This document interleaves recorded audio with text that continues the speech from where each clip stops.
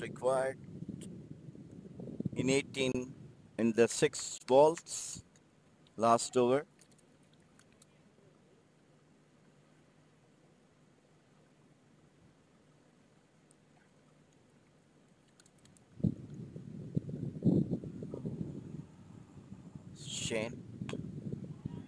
And it is a six over mid-wicket boundary, slightly short of the length and Karan hit it over mid-wicket for six.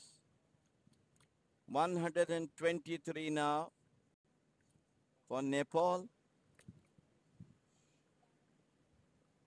Bad ball from him, very much short and Karan took full advantage of it.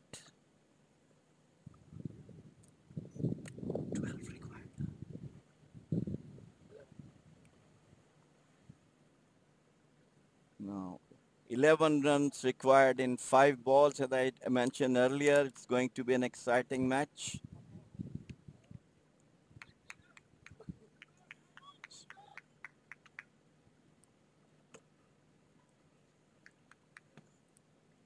Shane right arm over to Karan.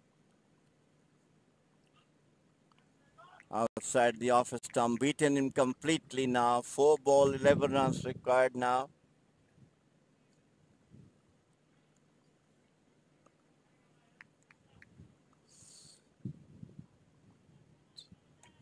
Karan is batting on 20. Earlier he bowled superbly. Got four wickets this morning and yesterday also he took four wickets.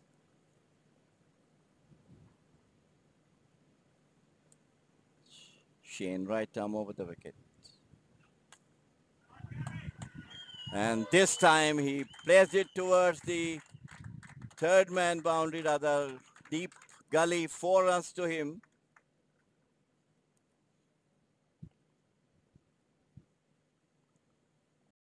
Now seven runs required, 127 for six.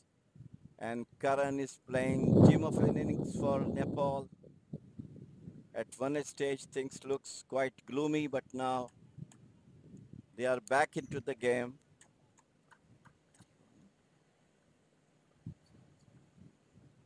Three balls. And this is over mid off for another six. And I told you that one over can change the complexion of the game. And, and this is the last over. Now scores are tied up. Two balls, one run required to win for Nepal.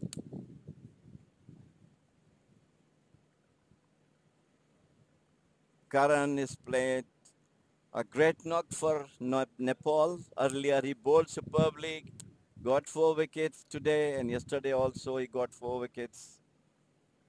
And Shane's last over really cost the match to Netherlands. 16 runs so far been scored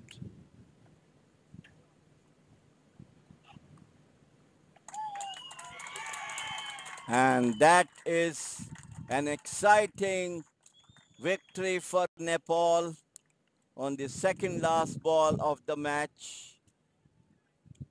Karan is the hero for Nepal, playing a superb knock of 31 with three sixes, I believe. And bad luck to Netherlands. They fought very hard this morning, though the score was 133 but they really came back and led the Nepal's batsmen to struggle. But the arrival of Karan makes this difference between the two teams. He played a great knock of 31 not out. Earlier he took four wickets. Congratulations to Nepal for winning the second match of the Five Nation tournament. And bad luck to Netherlands who was almost through, but the last over cost up the match. Shane is the bowler who bowled the last over. And I'm sure Karan will be the unanimous decision for the referees to be the man of the match. And the afternoon match will be played between Ireland and Hong Kong. So Hong Kong and Netherlands are now on the bottom of this five-nation tournament.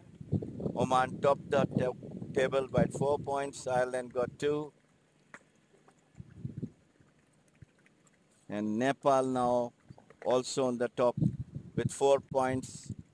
Two matches to win like Oman. Two matches to win. So there's a break for the lunch and we will be back to you after an hour with the match between Ireland and Hong Kong. We thank you for all of our viewers all over who are watching live streaming of our transmission. My transmission team with Praveen, Chiku, Nagu, and Jamil Jadi, myself as a commentator. So we'll be back after an hour for the second match of the day tomorrow.